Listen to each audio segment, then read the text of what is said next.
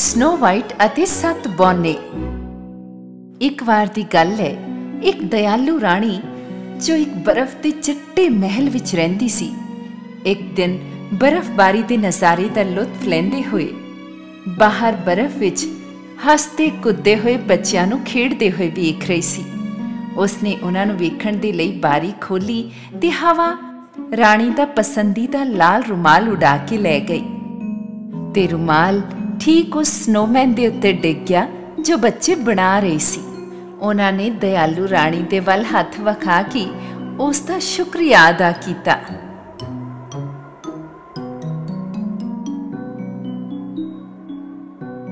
ਕਾਸ਼ ਮੇਰੀ ਧੀ ਹੁੰਦੀ, ਬਰਫ਼ ਵਰਗੀ ਗੋਰੀ ਚਿੱਟੀ, ਲਾਲ ਹੋਠ ਅਤੇ ਇੱਕ ਦਿਆਲੂ ਦਿਲ।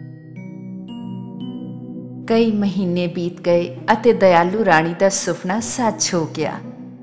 ਜਦ 9 ਮਹੀਨੇ ਬਾਅਦ ਉਹਦੀ ਲੰਮੇ ਸਮੇਂ ਤੋਂ ਇੰਤਜ਼ਾਰ ਵਾਲੀ ਇੱਛਾ ਪੂਰੀ ਹੋਈ ਅਤੇ ਰਾਜਾ ਤੇ ਰਾਣੀ ਦੇ ਘਰ ਇੱਕ ਬੱਚੀ ਪੈਦਾ ਹੋਈ ਜੋ ਦੁਨੀਆ ਵਿੱਚ ਸਭ ਤੋਂ ਸੋਹਣੀ ਸੀ ਤੇ ਉਹਨਾਂ ਨੇ ਉਸ ਦਾ ਨਾਂ ਸਨੋ ਵਾਈਟ ਰੱਖਿਆ, ਪਰ ਉਹਨਾਂ ਦੀ ਖੁਸ਼ੀ ਲੰਮੇ ਚਿਰ ਤੱਕ ਨਹੀਂ ਰਹੀ।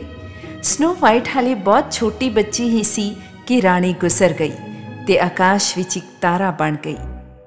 ਕੁਝ ਸਾਲ ਬਾਅਦ ਸਨੋ ਵਾਈਟ ਦੇ ਪਿਤਾ ਨੇ ਹੈਲਾ ਨਾਮ ਦੀ ਔਰਤ ਨਾਲ ਵਿਆਹ ਕਰ ਲਿਆ।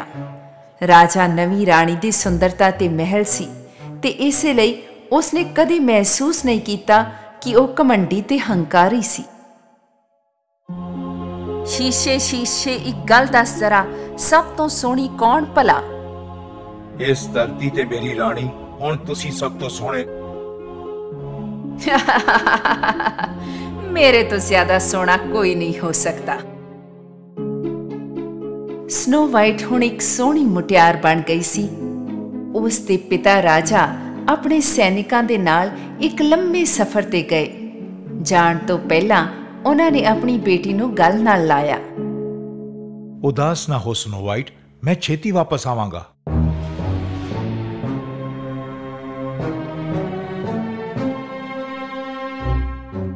ਇੱਕ ਦਿਨ ਦੁਸ਼ਟ ਰਾਣੀ ਹੈਲਾ ਨੇ ਆਪਣੇ ਲਈ ਨੌਕਰ ਡੰਕੋਵ ਬਣਾਇਆ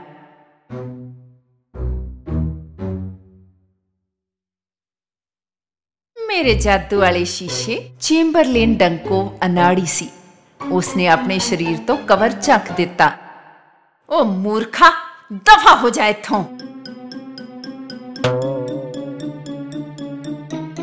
ਰਾਣੀ ਨੇ ਖੁਦ ਨੂੰ ਸ਼ੀਸ਼ੇ ਵਿੱਚ ਵੇਖਿਆ ਤੇ ਫਿਰ ਪੁੱਛਿਆ ਸ਼ੀਸ਼ੇ ਸ਼ੀਸ਼ੇ ਦੱਸ ਤੇ ਜ਼ਰਾ ਸਭ ਤੋਂ ਸੋਹਣੀ ਕੌਣ ਭਲਾ? ਜਾਦੂ ਵਾਲੇ ਸ਼ੀਸ਼ੇ ਨੇ ਜਵਾਬ ਦਿੱਤਾ ਇਸ ਧਰਤੀ ਤੇ ਮੇਰੀ ਰਾਣੀ ਹੁਣ ਤੁਸੀਂ ਸਭ ਤੋਂ ਸੋਹਣੇ ਨਹੀਂ ਹੋ। ਸਨੋ ਵਾਈਟ ਸਭ ਤੋਂ ਸੋਹਣੀ ਹੈ। ਹੈਲਾ ਗੁੱਸੇ ਨਾਲ ਭੜਕ ਗਈ ਇਹ ਨਹੀਂ ਹੋ ਸਕਦਾ ਮੇਰੇ ਤੋਂ ਜ਼ਿਆਦਾ ਕੋਈ ਸੋਹਣਾ ਨਹੀਂ ਹੈ। ਪੂਰਾ ਮਹਿਲ ਉਸ ਦੇ ਗੁੱਸੇ ਨਾਲ ਕੰਬਦਾ ਮਹਿਸੂਸ ਹੋ ਰਿਹਾ ਸੀ ਤੇ ਉਸ ਦਾ ਖੋਟਾ ਦਿਲ ਸਨੋ ਵਾਈਟ ਦੇ ਰੂਪ ਨੂੰ ਬਰਬਾਦ ਕਰ ਦੇਣਾ ਚਾਹੁੰਦਾ ਸੀ।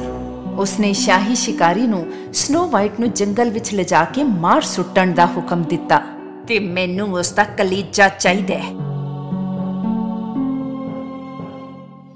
ਸਨੋ ਵਾਈਟ ਸ਼ਾਹੀ ਸ਼ਿਕਾਰੀ ਤੇ ਭਰੋਸਾ ਕਰਕੇ ਉਸ ਦੇ ਨਾਲ ਜੰਗਲ ਵਿੱਚ ਚਲੀ ਗਈ। ਰਸਤੇ ਵਿੱਚ ਉਸਨੇ ਜ਼ਮੀਨ ਤੇ ਇੱਕ ਜ਼ਖਮੀ ਪੰਛੀ ਨੂੰ ਵੇਖਿਆ। ਉਸ ਦੇ ਪੰਖ ਠੀਕ ਕਰਨ ਵਿੱਚ ਮਦਦ ਕਰਨ ਦੇ ਲਈ ਉਹਨੇ ਪੰਛੀ ਨੂੰ ਚੁੱਕਿਆ।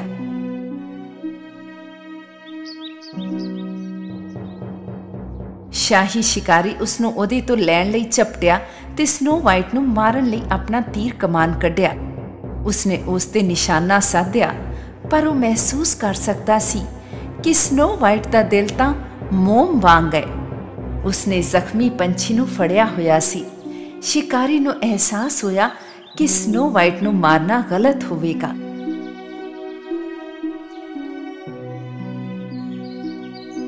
ਸਨੋ ਵਾਈਟ ਤੈਨੂੰ ਮਾਰਨ ਦਾ ਹੁਕਮ ਮਿਲਿਆ ਹੈ ਪਰ ਮੈਂ ਤੇਰੇ ਵਰਗੀ ਦਇਆਲੂ ਤੇ ਚੰਗੇ ਇਨਸਾਨ ਦੀ ਜਾਨ ਨਹੀਂ ਲੈ ਸਕਦਾ। ਕੌਣ ਮੇਰੀ ਜਾਨ ਲੈਣਾ ਚਾਹੁੰਦਾ ਹੈ? ਰਾਣੀ ਹੈਲਾ ਤੁਸੀਂ ਭੱਜ ਜਾਓ ਤੇ ਕਿਤੇ ਲੁਕ ਜਾਓ। ਸ਼ਿਕਾਰੀ ਨੇ ਝੂਠ ਬੋਲ ਕੇ ਹੈਲਾ ਨੂੰ ਗੁੰਮਰਾਹ ਕਰਨ ਦੀ ਸੋਚੀ ਤੇ ਸਨੋ ਵਾਈਟ ਦੇ ਬਦਲੇ ਇੱਕ ਜੰਗਲੀ ਸੂਰ ਨੂੰ ਮਾਰ ਦਿੱਤਾ ਤਾਂ ਜੋ ਉਹ ਉਸ ਦਾ ਕਲੇਜਾ ਕੱਢ ਕੇ ਰਾਣੀ ਨੂੰ ਦੇ ਸਕੇ ਤੇ ਉਸ ਨੂੰ ਲੱਗੇ ਕਿ ਸਨੋ ਵਾਈਟ ਮਰ ਚੁੱਕੀ ਹੈ। ਰਾਜਕੁਮਾਰੀ ਘਬਰਾ ਗਈ ਤੇ ਦੂਰ ਹਨੇਰੇ ਜੰਗਲਾਂ ਵਿੱਚ ਭੱਜ ਗਈ। ਸਾਰੀ ਰਾਤ ਉਹ ਦਰਖਤਾਂ ਦੀਆਂ ਤਿੱਖੀਆਂ ਟਹਿਣੀਆਂ ਤੇ ਚਮਗਾਦੜਾਂ ਨਾਲ ਜੂਝਦੀ ਰਹੀ। ਬੜੀ ਮੁਸ਼ਕਲ ਨਾਲ ਉਹ ਕੁਝ ਅੱਗੇ ਵਧੀ ਤਾਂ ਇੱਕ ਪੇੜ ਨਾਲ ਟਕਰਾ ਗਈ। ਤੇ ਉਹ ਠੰਡੇ ਹਨੇਰੇ ਨਾਲ ਘਿਰੇ ਜੰਗਲ ਵਿੱਚ ਸੌਂ ਗਈ। ਐਦਰ ਸ਼ਿਕਾਰੀ ਮਹਿਲ ਵਿੱਚ ਪਹੁੰਚ ਕੇ ਸਿੱਧਾ ਰਾਣੀ ਹੈਲਾ ਕੋਲ ਗਿਆ। ਮੈਂ ਤੁਹਾਡੇ ਹੁਕਮ ਦੀ ਪਾਲਣਾ ਕੀਤੀ ਹੈ। ਰਾਣੀ ਹੈਲਾ ਨੇ ਉਸ ਦੇ ਕੋਲੋਂ ਬਕਸਾ ਲਿਆ ਤੇ ਕਲੇਜਾ ਵੇਖ ਕੇ ਤਸੱਲੀ ਕੀਤੀ। ਉਸਨੇ ਮੰਨ ਲਿਆ ਕਿ ਸਨੋ ਵਾਈਟ ਮਰ ਚੁੱਕੀ ਹੈ ਅਤੇ ਉਸ ਦੇ ਦੁਸ਼ਟ ਹਾਸੇ ਨਾਲ ਮਹਿਲ ਗੂੰਜ ਉੱਠਿਆ। ਤੇ ਜਦੋਂ ਸਵੇਰ ਹੋਈ ਤਾਂ ਸਨੋ ਵਾਈਟ ਦੀ ਭਰੇ ਜੰਗਲ ਵਿੱਚ ਅੱਖ ਖੁੱਲੀ ਤਾਂ ਉੱਥੇ ਉਸ ਦੇ ਸਾਹਮਣੇ ਇੱਕ ਪਿਆਰਾ ਜਿਹਾ ਘਰ ਸੀ। ਇੱਕ ਛੋਟੇ ਬਗੀਚੇ ਤੇ ਵਾੜ ਦੀ ਸੁਰੱਖਿਆ ਘੇਰੇ ਦੇ ਨਾਲ ਨਿੱਕੀ ਜਿਹੀ ਬਾਰੀ। ਇੱਕ ਗੋਲ ਹਰਾ ਦਰਵਾਜ਼ਾ, ਇੱਕ ਡੋਰ ਬੈਲ ਦੇ ਨਾਲ। ਉਸਨੇ ਘੰਟੀ ਵਜਾਈ, ਪਰ ਕਿਸੇ ਨੇ ਜਵਾਬ ਨਹੀਂ ਦਿੱਤਾ। ਤੇ ਜਦ ਦਰਵਾਜ਼ਾ ਖੜਕਾਉਣ ਦੇ ਲਈ ਉਹ ਪਹੁੰਚੀ, ਤਾਂ ਉਹ ਆਪਣੇ ਆਪ ਹੀ ਖੁੱਲ ਗਿਆ। ਸਭ ਕੁਝ ਇੰਨਾ ਛੋਟਾ ਸੀ ਜਿਵੇਂ ਕਿ ਉਹ ਕਿਸੇ ਖਿਡੌਣੇ ਵਾਲੇ ਘਰ ਵਿੱਚ ਹੋਵੇ। ਨਿੱਕੇ ਭਾਂਡੇ, ਨਿੱਕੇ ਚਮਚ ਗਲਾਸ, ਜਦ ਉਸ ਨੂੰ ਸੂਪ ਦਾ ਇੱਕ ਕਟੋਰਾ ਨਜ਼ਰ ਆਇਆ, ਤਾਂ ਉਸ ਨੂੰ ਭੁੱਖ ਲੱਗੀ ਹੋਣ ਕਰਕੇ ਉਸਨੇ ਫਟਾਫਟ ਉਸ ਨੂੰ ਪੀ ਲਿਆ। ਤੇ ਫਿਰ ਇੱਕ ਛੋਟੇ ਜਿਹੇ ਬਿਸਤਰ ਤੇ ਸੌਂ ਗਈ। ਘਰ ਦੇ ਮਾਲਕ ਕੁਝ ਦੂਰੀ ਤੇ ਖਦਾਨਾ ਵਿੱਚ ਆਪਣਾ ਕੰਮ ਖਤਮ ਕਰਕੇ ਘਰ ਨੂੰ ਵਾਪਸ ਆ ਰਹੇ ਸੀ।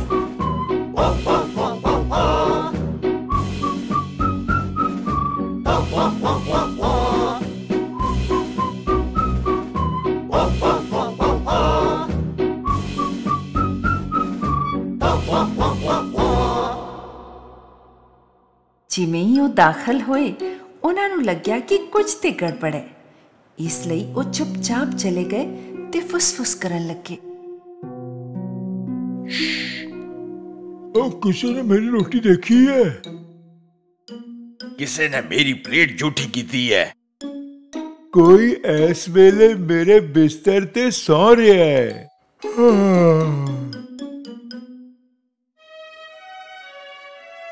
ਕੋਈ ਬਹੁਤ ਹੀ ਸੋਹਣੀ ਕੁੜੀ ਹੈ ਦੇਖੀ ਓਏ, ਛੱਡੀ ਨਾ ਓਏ, ਹੋਈ ਹਾਂ। ਆਈ ਫੜ ਲੈ ਹੋਈ ਦੇਖੀ, ਆਈ। ਛੱਡੀ ਨਾ ਓਏ ਹਾਂ। ਓਏ ਹਾਂ ਫੜ ਲੈ ਓ ਲੈ ਲੈ ਓਏ ਆ ਦੇ ਓ ਓ ਓ ਸ਼, ਉਹ ਜਾਗ ਰਹੀ ਹੈ ਤੇ ਕੰਬਲ ਤੇ ਥੱਲੇ ਲੁਕੀ ਹੋਈ ਹੈ ਹਮ ਨਿੱਕੀ ਕੁੜੀਏ ਸਾਡੇ ਤੋਂ ਡਰਨ ਦੀ ਲੋੜ ਨਹੀਂ ਹੈ ਅਸੀਂ ਸੱਤ ਬੋਨੇ ਹਾਂ ਮੈਂ ਹਾਂ ਏਸ ਤੇ ਇਹ jolly angry curious silly shy ਤੇ ਲੇਜ਼ੀ ਉਹ ਮੈਂ ਮੈਂ ਸਨੋ ਵਾਈਟ ਆ ਮਾਫ ਕਰਨਾ ਕਿ ਮੈਂ ਤੁਹਾਡੇ ਘਰ 'ਚ ਵੜ ਗਈ। ਸਨੋ ਵਾਈਟ ਨੇ ਉਹਨਾਂ ਨੂੰ ਆਪਣੇ ਨਾਲ ਬੀਤੀ ਹਰ ਗੱਲ ਦੱਸੀ ਤੇ ਬੌਨ ਨੇ ਉਸ ਦੀ ਕਹਾਣੀ ਸੁਣ ਕੇ ਬਹੁਤ ਦੁਖੀ ਹੋਏ।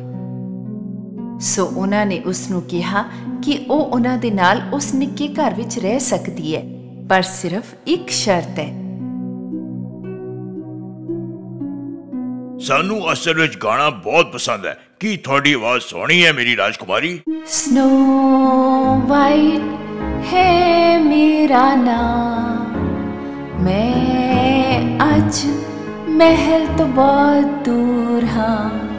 ਆਕਾਸ਼ ਨੂੰ ਵੇਖਦੀ ਰਾਵਾਂ ਆਪਣੀ ਮਾਂ ਨਾਲ ਗੱਲਾਂ ਕਰਦੀ ਰਾਵਾਂ ਉਹ ਜੋ ਰਵੇ ਸਿਤਾਰਿਆਂ ਦੇ ਨਾਲ ਇਸ ਜੰਗਲ ਨੇ ਦਿੱਤੀਆਂ ਮੈਨੂੰ ਖੁਸ਼ੀਆਂ ਹਜ਼ਾਰ ਨਿੱਕੇ ਨਿੱਕੇ ਦੋਸਤ ਮੇਰਾ ਰੱਖਦੇ ਖਿਆਲ ਛੋਟੇ ਛੋਟੇ ਦਿਲ ਉਹਨਾਂ ਦੇ ਉਮੀਦਾਂ ਨਾਲ ਭਰੇ। ਛੋਟੇ ਨਿੱਕੇ ਪਿਆਰੇ ਦਿਲ ਫੇਰ ਤੋਂ ਜਿੱਤਣਗੇ।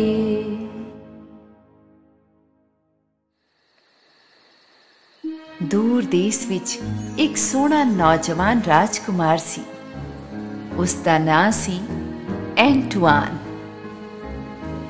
ਉਸ ਨੂੰ ਰਾਤ ਨੂੰ ਬਾਹਰ ਬੈਠ ਕੇ ਸਿਤਾਰਿਆਂ ਨੂੰ ਵੇਖਣਾ ਬਹੁਤ ਪਸੰਦ ਸੀ, ਜੋ ਉਸ ਨੂੰ ਆਪਣੇ ਲੋਕਾਂ ਦੀ ਯਾਦ ਦਿਵਾਉਂਦੇ ਸੀ।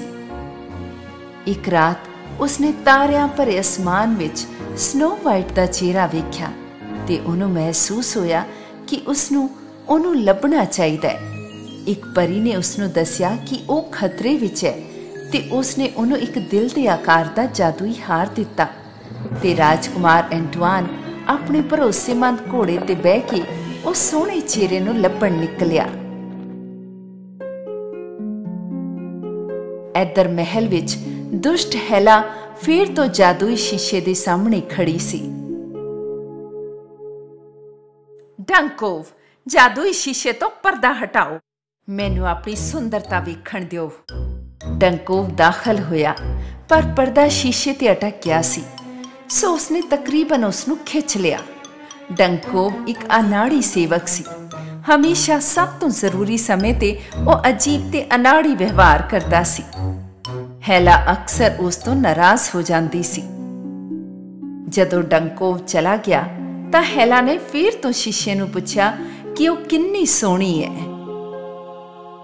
ਸ਼ੀਸ਼ੇ ਸ਼ੀਸ਼ੇ ਦੱਸ ਤੇ ਜ਼ਰਾ ਸਭ ਤੋਂ ਸੋਹਣੀ ਕੌਣ ਭਲਾ? ਮਾਫ ਕਰਨਾ ਮੇਰੀ ਰਾਣੀ ਪਰ ਸਨੋ ਵਾਈਟ ਜੋ ਸੱਤ ਬੋਨਿਆਂ ਨਾਲ ਰਹਿੰਦੀ ਹੈ ਉਹ ਹੈ ਇਸ ਦੇਸ਼ ਵਿੱਚ ਸਭ ਤੋਂ ਸੋਹਣੀ। ਆ ਨਹੀਂ ਨਹੀਂ ਨਹੀਂ। ਮੈਨੂੰ ਲੱਗਿਆ ਕਿ ਸਨੋ ਵਾਈਟ ਮਰ ਚੁੱਕੀ ਹੈ। ਹੈਲਾ ਪੂਰੀ ਰਾਤ ਜਾਗਦੀ ਰਹੀ। ਉਹ ਸਨੋ ਵਾਈਟ ਨੂੰ ਹਮੇਸ਼ਾ ਲਈ ਖਤਮ ਕਰਨ ਦੀ ਯੋਜਨਾਵਾਂ ਬਣਾਉਂਦੀ ਰਹੀ। ਉਸਨੇ ਫੈਸਲਾ ਕੀਤਾ ਕਿ ਸਭ ਤੋਂ ਵਧੀਆ ਤਰੀਕਾ ਹੋਵੇਗਾ ਖੁਦ ਦਾ ਰੂਪ ਬਦਲਣਾ। ਇਸ ਲਈ ਉਸਨੇ ਇੱਕ ਪਿਆਰੇ ਜਿਹੇ ਖਰਗੋਸ਼ ਦਾ ਰੂਪ ਧਾਰਿਆ। ਇੱਧਰ ਸਵੇਰੇ ਬੌਨੇ ਕੰਮ ਤੇ ਜਾਣ ਲਈ ਤਿਆਰ ਹੋ ਰਹੇ ਸੀ। ਵਾਰੀ-ਵਾਰੀ ਉਹਨਾਂ ਸਾਰਿਆਂ ਨੇ ਸਨੋ ਵਾਈਟ ਨੂੰ ਚੁੰਮਿਆ ਤੇ ਖਦਾਨ ਦੇ ਲਈ ਚਲੇ ਗਏ। ਰਾਜਕੁਮਾਰੀ ਅਣਜਾਣ ਲੋਕਾਂ ਲਈ ਦਰਵਾਜ਼ਾ ਨਾ ਖੋਲੀ ਇਸ ਵਿੱਚ ਖਤਰਾ ਹੈ। ਜੰਗਲ ਸ਼ਾਂਤ ਲੱਗ ਰਿਹਾ ਸੀ। ਸਨੋ ਵਾਈਟ ਨੇ ਬਗੀਚੇ ਵਿੱਚ ਫੁੱਲਾਂ ਨੂੰ ਪਾਣੀ ਦੇਣਾ ਸ਼ੁਰੂ ਕੀਤਾ। ਰਾਜਕੁਮਾਰੀ ਨੇ ਬਗੀਚੇ ਵਿੱਚ ਬੈਠੇ ਇੱਕ ਖਰਗੋਸ਼ ਨੂੰ ਵੇਖਿਆ, ਜਿਸ ਨੂੰ ਚੋਟ ਲੱਗੀ ਹੋਈ ਸੀ। ਉਸਨੇ ਜਾ ਕੇ ਉਸ ਨੂੰ ਚੁੱਕਿਆ ਤੇ ਘਰ ਦੇ ਅੰਦਰ ਲੈ ਗਈ। ਉਸਨੇ ਖਰਗੋਸ਼ ਦੀ ਚੋਟ ਤੇ ਪੱਟੀ ਬੰਨੀ ਤੇ ਉਸ ਨੂੰ ਬੌਨੇ ਦੇ ਬਿਸਤਰ ਤੇ ਧੁੱਪ ਤੇ ਆਰਾਮ ਕਰਨ ਦੇ ਲਈ ਸਵਾ ਦਿੱਤਾ। ਬੰਨੀ ਸੁੱਤਾ ਹੋਇਆ ਲੱਗ ਰਿਹਾ ਸੀ, ਪਰ ਜਿਵੇਂ ਹੀ ਸਨੋ ਵਾਈਟ ਕਮਰੇ ਤੋਂ ਬਾਹਰ ਗਈ, ਖਰਗੋਸ਼ ਨੇ ਆਪਣੀਆਂ ਅੱਖਾਂ ਖੋਲੀਆਂ ਤੇ ਕਮਰੇ ਨੂੰ ਵੇਖਿਆ। ਫਿਰ ਉਹ ਉਛਲਿਆ ਉਛਲਿਆ ਉਛਲਿਆ ਤੇ ਵਾਪਸ ਹਿਲਾ ਵਿੱਚ ਬਦਲ ਗਿਆ ਤੇ ਇਹੀ ਯੋਜਨਾ ਉਸਨੇ ਬਣਾਈ ਸੀ। ਉਸਨੇ ਸਰਾਣੇ ਵਿੱਚ ਜਾਮਨੀ ਜ਼ਹਿਰ ਪਾਇਆ ਇਹ ਸੋਚ ਕੇ ਕਿ ਰਾਜਕੁਮਾਰੀ ਉੱਥੇ ਸੌ ਜਾਵੇਗੀ ਤੇ ਜ਼ਹਿਰ ਨਾਲ ਮਰ ਜਾਵੇਗੀ। ਸਨੋ ਵਾਈਟ ਬਗੀਚੇ ਵਿੱਚ ਕੰਮ ਕਰਕੇ ਇੰਨਾ ਥੱਕ ਗਈ ਸੀ ਕਿ ਉਹ ਆਰਾਮ ਕਰਨ ਦੇ ਲਈ ਅੰਦਰ ਆਈ। ਉਹ ਉਸ ਜ਼ਹਿਰੀਲੇ ਸਿਰਾਣੇ ਤੇ ਆਪਣਾ ਸਿਰ ਰੱਖਣ ਹੀ ਵਾਲੀ ਸੀ ਕਿ ਉਸੇ ਵੇਲੇ ਬੌਨੇ ਆ ਗਏ। ਜਦ ਉਸਨੇ ਸੁਣਿਆ ਕਿ ਬੌਨੇ ਘਰ ਆ ਗਏ ਨੇ, ਰਾਜਕੁਮਾਰੀ ਉਹਨਾਂ ਨਾਲ ਦਰਵਾਜ਼ੇ ਤੇ ਮਿਲੀ ਤੇ ਰਾਤ ਦੇ ਖਾਣੇ ਤੋਂ ਬਾਅਦ ਉਹ ਸਾਰੀ ਰਾਤ ਨੱਚਦੇ ਰਹੇ।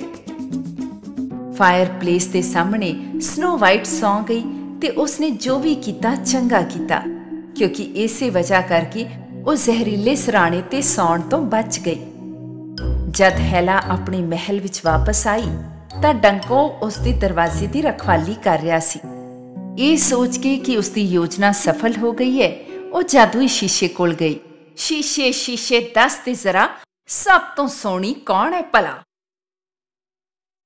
ਮਾਫ ਕਰਨਾ ਮੇਰੀ ਰਾਣੀ ਪਰ ਸਨੋ ਵਾਈਟ ਜੋ ਸੱਤ ਬੋਨਿਆਂ ਨਾਲ ਰਹਿੰਦੀ ਹੈ ਉਹ ਹੈ ਇਸ ਦੇਸ਼ ਵਿੱਚ ਸਭ ਤੋਂ ਸੋਹਣੀ। ਨਹੀਂ ਨਹੀਂ ਨਹੀਂ ਨਹੀਂ। ਮੈਨੂੰ ਇਸ ਦੁਨੀਆ ਵਿੱਚ ਸਭ ਤੋਂ ਸੋਹਣਾ ਹੋਣਾ ਚਾਹੀਦਾ ਹੈ। ਮੈਨੂੰ। ਮੈਂ ਸਨੋ ਵਾਈਟ ਨੂੰ ਮਾਰਨ ਦੀ ਯੋਜਨਾ ਬਣਾਵਾਂਗੀ। ਕੁਝ ਦਿਨ ਬਾਅਦ, ਜਦੋਂ ਬੋਨੇ ਖਦਾਨ ਵਿੱਚ ਕੰਮ ਕਰ ਰਹੀ ਸੀ ਸਨੋ ਵਾਈਟ ਬੋਨਿਆਂ ਦੇ ਫੱਟੇ ਹੋਏ ਕੱਪੜੇ ਸਿਲਾਈ ਕਰ ਰਹੀ ਸੀ, ਤਾਂ ਉਸਨੇ ਦਰਵਾਜ਼ੇ ਤੇ ਇੱਕ ਦਸਤਕ ਸੁਣੀ। ਦਰਵਾਜ਼ਾ ਤਿੰਨ ਵਾਰ ਖੜਕਿਆ ਸੀ। ਸਨੋ ਵਾਈਟ ਨੇ ਦਰਵਾਜ਼ੇ ਤੋਂ ਵੇਖਿਆ ਕਿ ਇਹ ਕੌਣ ਹੈ? ਉਸ ਨੂੰ ਇੱਕ ਪੁਰਾਣੀ ਬਦ ਸ਼ਕਲ ਜਨਾਨੀ, ਜਿਸ ਦੇ ਕੋਲ ਸੇਬ ਦੀ ਇੱਕ ਟੋਕਰੀ ਸੀ, ਖੜੀ ਨਜ਼ਰ ਆਈ। ਤੁਸੀਂ ਕੌਣ ਹੋ? ਮੈਂ ਇੱਕ ਵੇਚਣ ਵਾਲੀ ਆ। ਮੇਰੇ ਕੋਲ ਬਹੁਤ ਸਵਾਦੀ ਸੇਬ ਨੇ। ਕੀ ਤੂੰ ਇੱਕ ਵਾਰ ਖਾ ਕੇ ਵੇਖੇਂਗੀ? ਸਨੋ ਵਾਈਟ ਨੂੰ ਪਹਿਲਾਂ ਦਰਵਾਜ਼ਾ ਖੁੱਲਣ ਤੋਂ ਡਰ ਲੱਗ ਰਿਹਾ ਸੀ, ਪਰ ਉਸ ਨੂੰ ਲਾਲ ਸੇਬ ਬਹੁਤ ਪਸੰਦ ਸੀ। ਐ ਲੈ। ਇਹ ਮਿੱਠੇ ਵਾਲਾ ਖਾ ਕੇ ਵੇਖ ਮੇਰੀ ਸੋਹਣੀਏ ਧੀਏ, ਮੇਰੇ ਵੱਲੋਂ ਤੇਰੇ ਵਾਸਤੇ। ਸਨੋ ਵਾਈਟ ਨੇ ਬੁੱਢੀ ਜਨਾਨੀ ਵੱਲੋਂ ਦਿੱਤਾ ਗਿਆ ਸੇਬ ਲਿਆ ਤੇ ਇੱਕ ਟੁਕੜਾ ਖਾਦਾ ਸੇਬ ਵਿੱਚ ਜ਼ਹਿਰ ਸੀ। ਮਦਦ ਦੇ ਲਈ ਚੀਖਣ ਤੋਂ ਪਹਿਲਾਂ ਹੀ ਉਹ ਜ਼ਮੀਨ ਤੇ ਡਿੱਗ ਪਈ।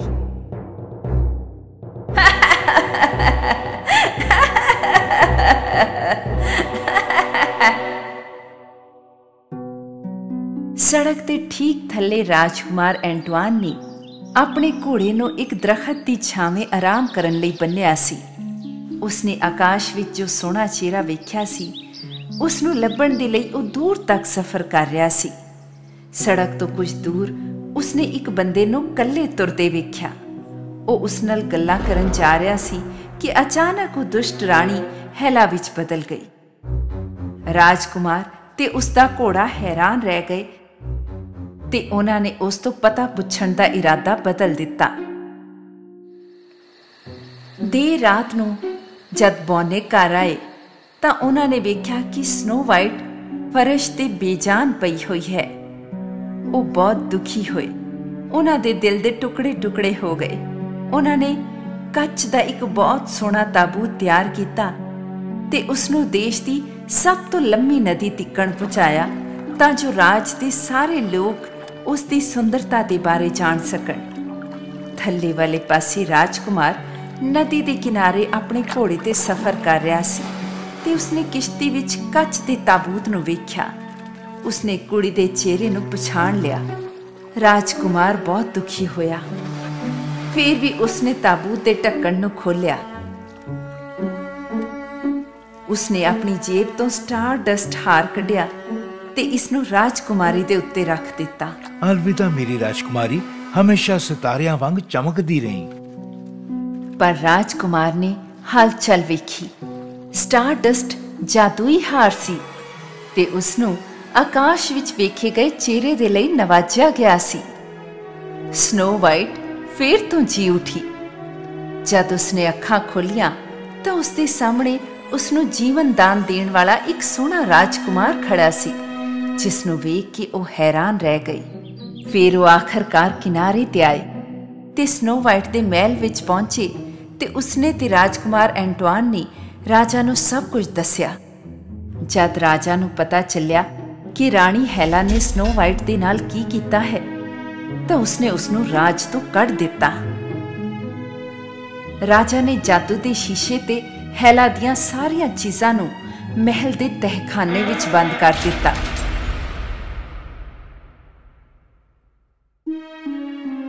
ਕੁਝ ਮਹੀਨਿਆਂ ਬਾਅਦ ਸਨੋ ਵਾਈਟ ਤੇ ਪ੍ਰਿੰਸ ਨੂੰ ਪਿਆਰ ਹੋ ਗਿਆ। ਕਿਉਂਕਿ ਇਹ ਇੱਕ ਅਰੇਂਜ ਮੈਰਿਜ ਨਹੀਂ ਸੀ ਤੇ ਫਿਰ ਮਹਿਲ ਵਿੱਚ ਇੱਕ ਸ਼ਾਨਦਾਰ ਵਿਆਹ ਹੋਇਆ। ਉਹਨਾਂ ਨੇ ਬੋਨਿਆਂ ਨੂੰ ਵੀ ਸੱਦਾ ਦਿੱਤਾ ਤੇ ਜਸ਼ਨ ਮਨਾਇਆ ਤੇ ਖੁਸ਼ੀ ਨਾਲ ਜ਼ਿੰਦਗੀ ਬਿਤਾਉਣ ਲੱਗੇ।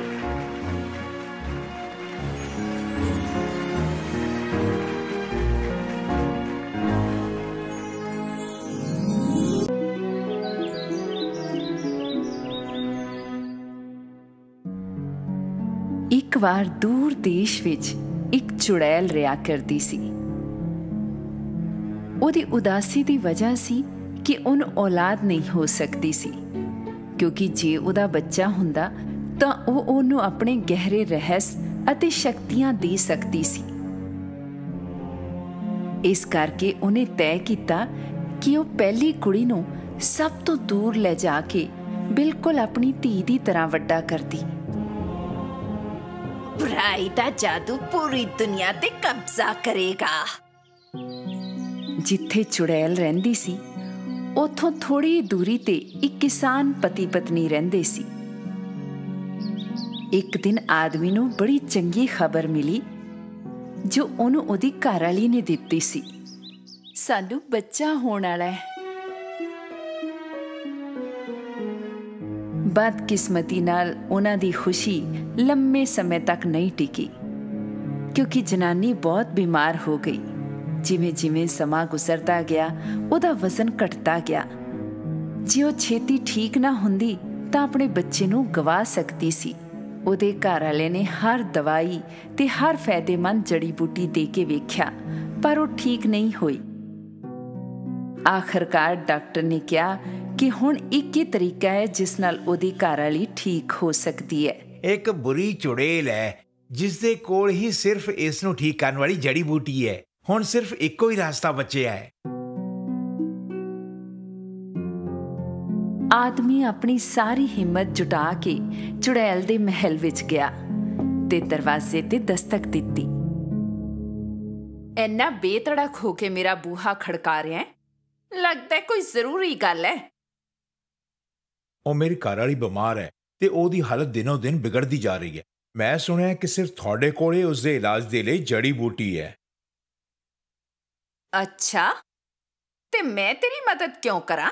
ਮੈਂ ਬੇਨਤੀ ਕਰਦਾ ਹਾਂ ਕਿਰਪਾ ਕਰਕੇ ਮੇਰੀ ਮਦਦ ਕਰੋ। ਮੇਰੀ ਘਰ ਵਾਲੀ ਨੂੰ ਬੱਚਾ ਹੋਣ ਵਾਲਾ ਹੈ ਤੇ ਜੇ ਉਹਦਾ ਇਲਾਜ ਨਾ ਕੀਤਾ ਗਿਆ ਤਾਂ ਦੋਹਾਂ ਨੂੰ ਗਵਾ ਬੈਠਾਂਗਾ।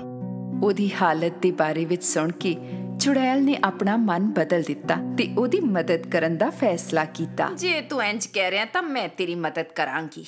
ਚੁੜੈਲ ਨੇ ਉਹਦੇ ਇਲਾਜ ਵਾਲੀ ਜੜੀ ਬੁੱਟੀ ਦੇ ਦਿੱਤੀ। ਇਸ ਜੜੀ ਬੁੱਟੀ ਦੇ ਪੱਤਿਆਂ ਦਾ ਇੱਕ ਇੱਕ ਟੁਕੜਾ ਰੋਜ਼ ਆਪਣੀ ਘਰ ਵਾਲੀ ਨੂੰ ਖਵਾਈ। ਤੈਨੂੰ ਉਹ ਠੀਕ ਹੁੰਦੀ ਨਜ਼ਰ ਆਵੇਗੀ। ਆਦਮੀ ਖੁਸ਼ੀ ਦੇ ਮਾਰੇ ਭੱਜਦੇ ਹੋਏ ਘਰ ਪਹੁੰਚਿਆ। ਉਹਦੀ ਘਰ ਵਾਲੀ ਨੇ ਰੋਜ਼ ਪੱਤੇ ਦਾ ਇੱਕ ਟੁਕੜਾ ਖਾਦਾ ਹੁਣ ਉਹਦੀ ਤਬੀਅਤ ਸੁਧਰਨ ਲੱਗੀ। ਤੇ ਉਹਦਾ ਘਟਿਆ ਹੋਇਆ ਵਜ਼ਨ ਵੀ ਵਾਪਸ ਵਧਣ ਲੱਗਾ। ਪਰ ਕੁਝ ਦਿਨਾਂ ਬਾਅਦ ਚੁੜੈਲ ਦੀ ਦਿੱਤੀ ਹੋਈ ਜੜੀ ਬੂਟੀ ਖਤਮ ਹੋ ਗਈ। ਘਰ ਵਾਲੀ ਦੀ ਤਬੀਅਤ ਫਿਰ ਤੋਂ ਵਿਗੜ ਗਈ। ਇਸ ਵਾਰ ਬਹੁਤ ਹੀ ਘੱਟ ਸਮੇਂ ਵਿੱਚ ਉਹਦੀ ਹਾਲਤ ਜ਼ਿਆਦਾ ਗੰਭੀਰ ਹੋ ਗਈ। ਕੋਈ ਉਪਾਅ ਨਾ ਹੋਣ ਕਰਕੇ ਆਦਮੀ ਨੇ ਫਿਰ ਤੋਂ ਚੁੜੈਲ ਦੇ ਮਹਿਲ ਦਾ ਦਰਵਾਜ਼ਾ ਖੜਕਾਇਆ। ਚੁੜੈਲ ਜਾਣਦੀ ਸੀ ਕਿ ਉਹ ਵਾਪਸ ਜ਼ਰੂਰ ਆਵੇਗਾ। ਇਹ ਉਹੀ ਬੀਜ ਹੈ ਜਿਸ ਨਾਲ ਤੇਰੀ ਘਰ ਵਾਲੀ ਠੀਕ ਹੋ ਸਕਦੀ ਹੈ। ਤੂੰ ਇਹਨਾਂ ਨੂੰ ਆਪਣੇ ਬਗੀਚੇ ਵਿੱਚ ਬੀਜ ਦੇਵੀਂ ਤੇ ਫਿਰ ਤੇਰੀ ਘਰ ਵਾਲੀ ਤੇ ਬੱਚਾ ਦੋਵੇਂ ਬਚ ਜਾਣਗੇ। ਪਰ ਮੇਰੀ ਇੱਕ ਸ਼ਰਤ ਹੈ ਜੇ ਤੇਰੇ ਘਰ ਬੱਚੀ ਜੰਮੀ ਤਾਂ ਤੂੰ ਉਹਨੂੰ ਮੈਨੂੰ ਦੇ ਦੇਂਗਾ। ਮੈਂ ਅਜਿਹੀ ਸ਼ਰਤ ਕਦੇ ਨਹੀਂ ਮੰਨ ਸਕਦਾ। ਤਾਂ ਦਫਾ ਹੋ ਜਾ ਇੱਥੋਂ। ਚੁੜੈਲ ਨੇ ਉਹਦੇ ਮੂੰਹ ਤੇ ਦਰਵਾਜ਼ਾ ਬੰਦ ਕਰ ਦਿੱਤਾ। ਦੁਖੀ ਹੋ ਕੇ ਆਦਮੀ ਘਰ ਵਾਪਸ ਆ ਗਿਆ। ਉਹ ਆਪਣੀ ਘਰ ਵਾਲੀ ਨੂੰ ਕੁਝ ਵੀ ਨਹੀਂ ਦੱਸ ਸਕਦਾ ਸੀ। ਜਿਵੇਂ ਜਿਵੇਂ ਦਿਨ ਗੁਜ਼ਰਦੇ ਗਏ ਘਰ ਵਾਲੀ ਦੀ ਹਾਲਤ ਵਿਗੜਦੀ ਗਈ। ਹੁਣ ਬੱਚੇ ਨੂੰ ਵੀ ਖਤਰਾ ਵੱਧ ਗਿਆ ਸੀ। ਆਦਮੀ ਦੀ ਰਾਤਾਂ ਦੀ ਨੀਂਦ ਉੱਡ ਗਈ ਸੀ। ਜੇ ਉਹ ਚੁੜੈਲ ਦੀ ਸ਼ਰਤ ਨਹੀਂ ਮੰਨਦਾ, ਤਾਂ ਉਹ ਘਰ ਵਾਲੀ ਤੇ ਬੱਚਾ ਦੋਹਾਂ ਨੂੰ ਗਵਾ ਦੇਵੇਗਾ। ਪਰ ਜੇ ਉਹ ਸ਼ਰਤ ਮੰਨ ਲੈਂਦਾ ਹੈ ਤੇ ਜੇ ਉਹਨੂੰ ਬੇਟਾ ਪੈਦਾ ਹੁੰਦਾ ਹੈ, ਤਾਂ ਉਹਦੀ ਘਰ ਵਾਲੀ ਤੇ ਬੱਚਾ ਦੋਵੇਂ ਬਚ ਜਾਣਗੇ। ਇਸ ਲਈ ਉਹਨੇ ਆਪਣਾ ਮਨ ਬਣਾ ਲਿਆ। ਤੇ ਚੁੜੈਲ ਦੇ ਮਹਿਲ ਵਿੱਚ ਗਿਆ। ਉਹਨੇ ਚੁੜੈਲ ਦੀ ਸ਼ਰਤ ਮੰਨ ਲਈ ਤੇ ਬੀਜ ਲੈ ਕੇ ਘਰ ਆ ਗਿਆ। ਚੁੜੈਲ ਦੇ ਦਿੱਤੇ ਹੋਏ ਬੀਜ ਉਹਨੇ ਆਪਣੇ ਬਗੀਚੇ ਵਿੱਚ ਬੋ ਦਿੱਤੇ। ਬੀਜ ਬਹੁਤ ਹੀ ਘੱਟ ਸਮੇਂ ਵਿੱਚ ਉੱਗ ਗਏ। ਆਦਮੀ ਨੇ ਆਪਣੀ ਘਰ ਵਾਲੀ ਨੂੰ ਬਗੀਚੇ ਵਿੱਚ ਉੱਗੇ ਹੋਏ ਪੱਤੇ ਖਵਾਏ। ਜਿਵੇਂ ਜਿਵੇਂ ਦਿਨ ਬੀਤਦੇ ਗਏ, ਉਹਦੀ ਘਰ ਵਾਲੀ ਠੀਕ ਹੁੰਦੀ ਗਈ ਤੇ ਉਹਨੇ ਇੱਕ ਸਿਹਤਮੰਦ ਬੱਚੇ ਨੂੰ ਜਨਮ ਦਿੱਤਾ। ਪਰ ਆਦਮੀ ਨੂੰ ਹੁਣ ਡਰ ਸਤਾ ਰਿਹਾ ਸੀ।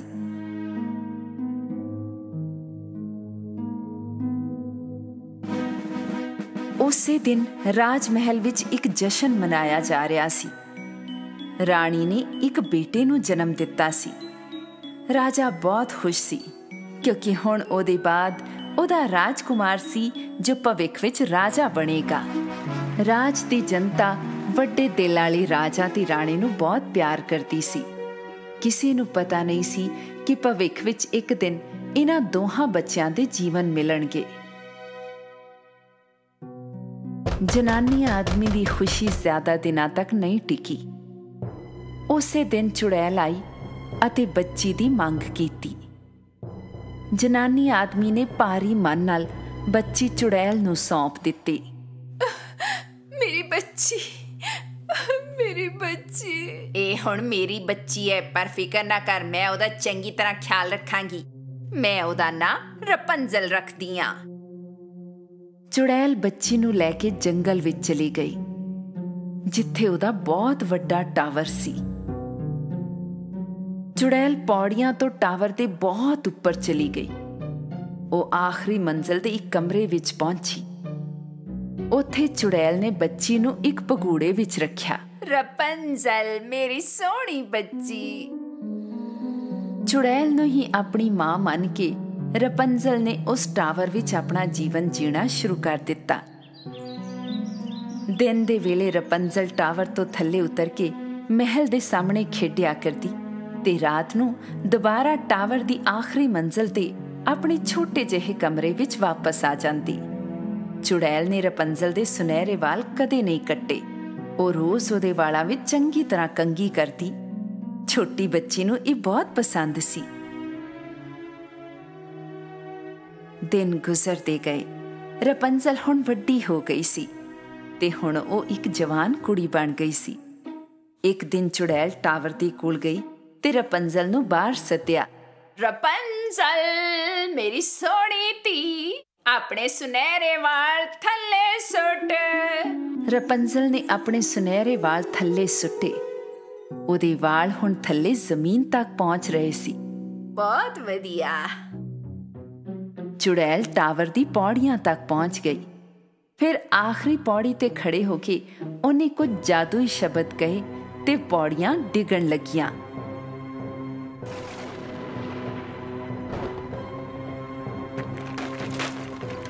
ਦੁਨੀਆ ਦੇ ਕੋਈ ਵੀ ਬੋਲ ਇਹਨਾਂ ਪੌੜੀਆਂ ਨੂੰ ਫਿਰ ਤੋਂ ਨਹੀਂ ਲਿਆ ਸਕਦੇ।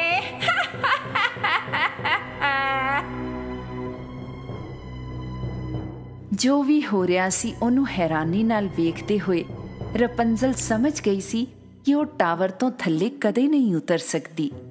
ਚੁੜੈਲ ਰੋਜ਼ ਟਾਵਰ ਤੋਂ ਥੱਲੇ ਉਤਰਨ ਦੇ ਲਈ ਰਪੰਜ਼ਲ ਦੇ ਵਾਲਾਂ ਦਾ ਇਸਤੇਮਾਲ ਕਰਦੀ ਤੇ ਸ਼ਾਮ ਨੂੰ ਵੀ ਟਾਵਰ ਦੇ ਥੱਲੇ ਆ ਕੇ ਰਪੰਜ਼ਲ ਨੂੰ ਸੱਦਦੀ। ਰਪੰਜ਼ਲ ਰਪੰਜ਼ਲ ਆਪਣੇ ਵਾਲ ਥੱਲੇ ਸੁੱਟ ਤੇਰੀ ਮਾਂ ਆਈ ਉਹਦੀ ਆਵਾਜ਼ ਸੁਣ ਕੇ ਰਪੰਜ਼ਲ ਆਪਣੇ ਵਾਲ ਥੱਲੇ ਸੁੱਟਦੀ। ਤੇ ਉਹਨਾਂ ਵਾਲਾਂ ਦੇ ਸਹਾਰੇ ਚੜ੍ਹਦੇ ਹੋਏ ਚੁੜੈਲ ਉੱਤੇ ਆ ਜਾਂਦੀ। ਮਾਂ ਤੂੰ ਮੈਨੂੰ ਟਾਵਰ ਦੇ ਬਾਹਰ ਕਿਉਂ ਨਹੀਂ ਜਾਣ ਦਿੰਦੀ? ਤੂੰ ਮੈਨੂੰ ਇੱਥੇ ਕਿਉਂ ਰੱਖਿਆ ਹੈ? ਮੇਰੀ ਪਿਆਰੀ ਧੀਏ ਮੈਂ ਤੈਨੂੰ ਬਹੁਤ ਪਿਆਰ ਕਰਦੀ ਆ। ਇਸ ਕਰਕੇ ਤੈਨੂੰ ਦੁਨੀਆ ਦੀ ਬੁਰਾਈ ਤੋਂ ਬਚਾਉਣਾ ਚਾਹਨੀ ਆ। ਰਪੰਜ਼ਲ ਸਾਰਾ ਦਿਨ ਗਾਣ ਵਿੱਚ ਅਤੇ ਜੋ ਪੰਛੀ ਉਹਦੀ ਬਾਰੀ ਤੇ ਆ ਕੇ ਬੈਠਦੇ ਸੀ, ਉਹਨਾਂ ਨਾਲ ਗੱਲਾਂ ਕਰਦੇ ਹੋਏ ਗੁਜ਼ਾਰਦੀ।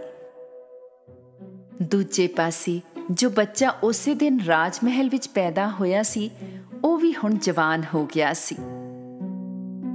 ਰਾਜਾ ਹੁਣ ਬੁੱਢਾ ਹੋ ਚੱਲਿਆ ਸੀ ਅਤੇ ਉਹ ਚਾਹੁੰਦਾ ਸੀ ਕਿ ਹੁਣ ਉਹਦਾ ਜਵਾਨ ਬੇਟਾ ਉਹਦੀ ਗੱਦੀ ਸੰਭਾਲੇ, ਰਾਜਕੁਮਾਰੀ ਨਾਲ ਵਿਆਹ ਕਰੇ ਤੇ ਉਸ ਨੂੰ ਪੋਤਰਾ ਦੇਵੇ। ਬਾਕੀ ਰਾਜਾਂ ਦੀ ਕਈ ਰਾਜਕੁਮਾਰੀਆਂ ਮਹਿਲ ਵਿੱਚ ਆ ਕੇ ਜਾਂਦੀਆਂ, ਪਰ ਰਾਜਕੁਮਾਰ ਨੂੰ ਕੋਈ ਵੀ ਆਪਣੀ ਪਤਨੀ ਦੇ ਰੂਪ ਵਿੱਚ ਨਹੀਂ ਪਾਈ। ਆਖਰ ਰਾਜਕੁਮਾਰ ਇੱਕ ਲੰਮੀ ਯਾਤਰਾ ਤੇ ਨਿਕਲ ਪਿਆ ਆਪਣੇ ਅਸਲੀ ਪਿਆਰ ਦੀ ਖੋਜ ਵਿੱਚ।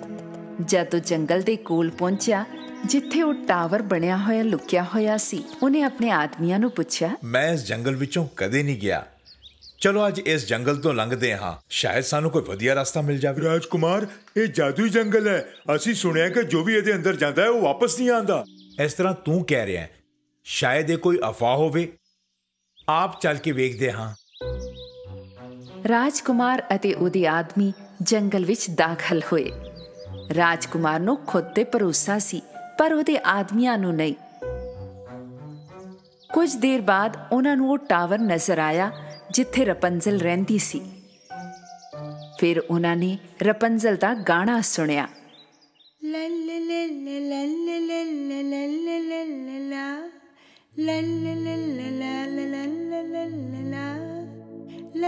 ਕਿੰਨੀ ਮਿੱਠੀ ਆਵਾਜ਼ ਹੈ। ਟਾਵਰ ਦੇ ਨੇੜੇ ਪਹੁੰਚ ਕੇ ਰਾਜਕੁਮਾਰ ਨੇ ਉਹਦਾ ਗਾਣਾ ਸੁਣਿਆ। ਤੇ ਕੁਝ ਦੇਰ ਤੱਕ ਉਹਦੀ ਸੁੰਦਰਤਾ ਨੂੰ ਨਿਹਾਰਦਾ ਰਿਹਾ। ਉਸੇ ਵੇਲੇ ਚੁੜੈਲ ਉੱਥੇ ਆਈ ਤੇ ਉਹਨੇ ਰਪੰਜ਼ਲ ਨੂੰ ਸੱਦਿਆ। ਰਪੰਜ਼ਲ ਆਪਣੇ ਸੁਨਹਿਰੇ ਵਾਲ ਥੱਲੇ ਸੁੱਟ।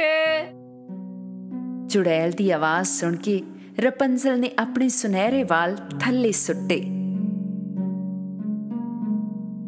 ਤੇ ਉਹ ਚੁੜੈਲ ਵਾਲਾਂ ਦੇ ਸਹਾਰੇ ਉੱਤੇ ਚੜ ਗਈ। ਅੱਛਾ। ਰਾਜਕੁਮਾਰ ਨੇ ਕੁਝ ਸਮਾਂ ਟਾਵਰ ਦੇ ਆਲੇ ਦੁਆਲੇ ਘੁੰਮਣ ਦਾ ਫੈਸਲਾ ਕੀਤਾ ਅਤੇ ਰਪੰਜ਼ਲ ਨੂੰ ਵੇਖਦਾ ਰਿਹਾ। ਚੁੜੈਲ ਰਪੰਜ਼ਲ ਦੇ ਵਾਲਾਂ ਦੇ ਸਹਾਰੇ ਹਰ ਸਵੇਰੇ ਥੱਲੇ ਆਂਦੀ ਅਤੇ ਰਾਤ ਨੂੰ ਉੱਤੇ ਚੜਦੀ ਰਪੰਜ਼ਲ ਆਪਣੇ ਸੁਨਹਿਰੇ ਵਾਲ ਥੱਲੇ ਸੁੱਟ।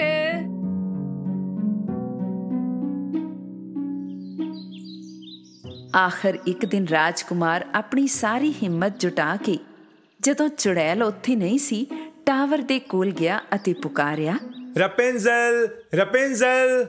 ਰਪੰਜ਼ਲ ਪਹਿਲੀ ਵਾਰ ਆਪਣੀ ਮਾਂ ਤੋਂ ਇਲਾਵਾ ਕਿਸੇ ਹੋਰ ਦੀ ਆਵਾਜ਼ ਸੁਣ ਰਹੀ ਸੀ। ਪਹਿਲਾਂ ਉਹ ਝਿਜਕ ਰਹੀ ਸੀ ਪਰ ਬਾਅਦ ਵਿੱਚ ਉਹ ਉਤਸੁਕ ਸੀ ਇਹ ਦੇਖਣ ਲਈ ਕਿ ਕੌਣ ਹੋ ਸਕਦਾ ਹੈ। ਇਸ ਲਈ ਉਹਨੇ ਬਾਰੀ ਤੋਂ ਥੱਲੇ ਵੇਖਿਆ। ਉਹਨੇ ਵੇਖਿਆ ਕਿ ਇੱਕ ਨੌਜਵਾਨ ਮੁੰਡਾ ਥੱਲਿਓਂ ਉਹਦੇ ਵੱਲ ਵੇਖ ਰਿਹਾ ਸੀ।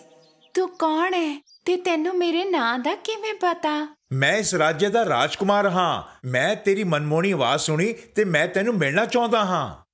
ਮੈਨੂੰ ਅਣਜਾਣ ਲੋਕਾਂ ਨਾਲ ਗੱਲ ਕਰਨ ਦੀ ਇਜਾਜ਼ਤ ਨਹੀਂ ਹੈ ਤੈਨੂੰ ਮੇਰੇ ਕੋਲੋਂ ਕੋਈ ਖਤਰਾ ਨਹੀਂ। ਮੈਂ ਵਾਅਦਾ ਕਰਦਾ ਹਾਂ। ਕਿਰਪਾ ਕਰਕੇ ਥੱਲੇ ਆ ਤਾਂ ਕਿ ਅਸੀਂ ਗੱਲ ਕਰ ਸਕੀਏ। ਮੈਂ ਨਹੀਂ ਆ ਸਕਦੀ। ਇੱਥੇ ਪੌੜੀਆਂ ਨਹੀਂ ਨੇ। ਉਸੇ ਵੇਲੇ ਰਪੰਜ਼ਲ ਨੇ ਚੁੜੈਲ ਮਾਂ ਨੂੰ ਆਂਦੇ ਵੇਖਿਆ। ਛੇਤੀ ਚਲੇ ਜਾਓ ਇੱਥੋਂ ਨਹੀਂ ਤਾਂ ਮੇਰੀ ਮਾਂ ਤੁਹਾਨੂੰ ਵੇਖ ਲਵੇਗੀ। ਰਾਜਕੁਮਾਰ ਫਟਾਫਟ ਪੇੜ ਦੇ ਪਿੱਛੇ ਲੁਕ ਗਿਆ। ਟਾਵਰ ਦੇ ਕੋਲ ਪਹੁੰਚ ਕੇ ਚੁੜੈਲ ਨੇ ਪੁਕਾਰਿਆ ਤੇ ਰਪੰਜ਼ਲ ਦੇ ਵਾਲਾਂ ਦੇ ਸਹਾਰੇ ਉੱਤੇ ਚੜ ਗਈ। ਰਾਜਕੁਮਾਰ ਰੋਜ਼ ਆਣ ਲੱਗਿਆ। ਹੁਣ ਉਹ ਦੋਸਤ ਬਣ ਗਏ ਸੀ। ਹੁਣ ਤੱਕ ਉਹ ਜਾਣ ਚੁੱਕੀ ਸੀ ਕਿ ਉਹਨੂੰ ਰਾਜਕੁਮਾਰ ਤੋਂ ਕੋਈ ਖਤਰਾ ਨਹੀਂ। ਇਸ ਲਈ ਉਹਨੇ ਆਪਣੇ ਵਾਲ ਥੱਲੇ ਸੁੱਟੇ। ਰਾਜਕੁਮਾਰ ਉਹਦੇ ਵਾਲਾਂ ਦੇ ਸਹਾਰੇ ਸਹਾਰੇ ਉੱਤੇ ਚੜ ਗਿਆ। ਰਪੰਜ਼ਲ ਬਹੁਤ ਖੁਸ਼ ਸੀ। ਉਹਨੇ ਪਹਿਲਾਂ ਕਦੇ ਕੋਈ ਆਦਮੀ ਨਹੀਂ ਵੇਖਿਆ ਸੀ ਅਤੇ ਅੱਜ ਰਾਜਕੁਮਾਰ ਉਹਦੇ ਸਾਹਮਣੇ ਖੜਾ ਸੀ। ਤੇਰੀ ਮਾਂ ਨੇ ਤੈਨੂੰ ਇਸ ਟਾਵਰ ਵਿੱਚ ਬੰਦ ਕਰਕੇ ਕਿਉਂ ਰੱਖਿਆ ਹੈ? ਮਾਂ ਮੈਨੂੰ ਕਹਿੰਦੀ ਹੈ ਕਿ ਇਹ ਦੁਨੀਆ ਬੁਰਾਈ ਨਾਲ ਭਰੀ ਹੋਈ ਹੈ। ਉਹ ਮੇਰੀ ਰੱਖਿਆ ਕਰਨ ਦੀ ਕੋਸ਼ਿਸ਼ ਕਰ ਰਹੀ ਹੈ। ਇਹ ਤੇ ਹੱਸਣ ਵਾਲੀ ਗੱਲ ਹੈ। ਭਲਾ ਕਦੀ ਕੋਈ ਮਾਂ ਵੀ ਆਪਣੀ ਧੀ ਨੂੰ ਅਜਿਹੀ ਥਾਂ ਤੇ ਬੰਦੀ ਬਣਾ ਕੇ ਰੱਖੇਗੀ?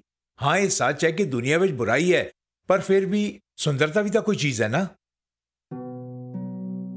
ਰਪੰਜ਼ਲ ਇਹ ਵੇਖਣ ਦੇ ਲਈ ਉਤਸੁਕ ਸੀ ਕਿ ਕੀ ਰਾਜਕੁਮਾਰ ਜੋ ਕਹਿ ਰਿਹਾ ਹੈ ਉਹ ਸੱਚ ਹੈ?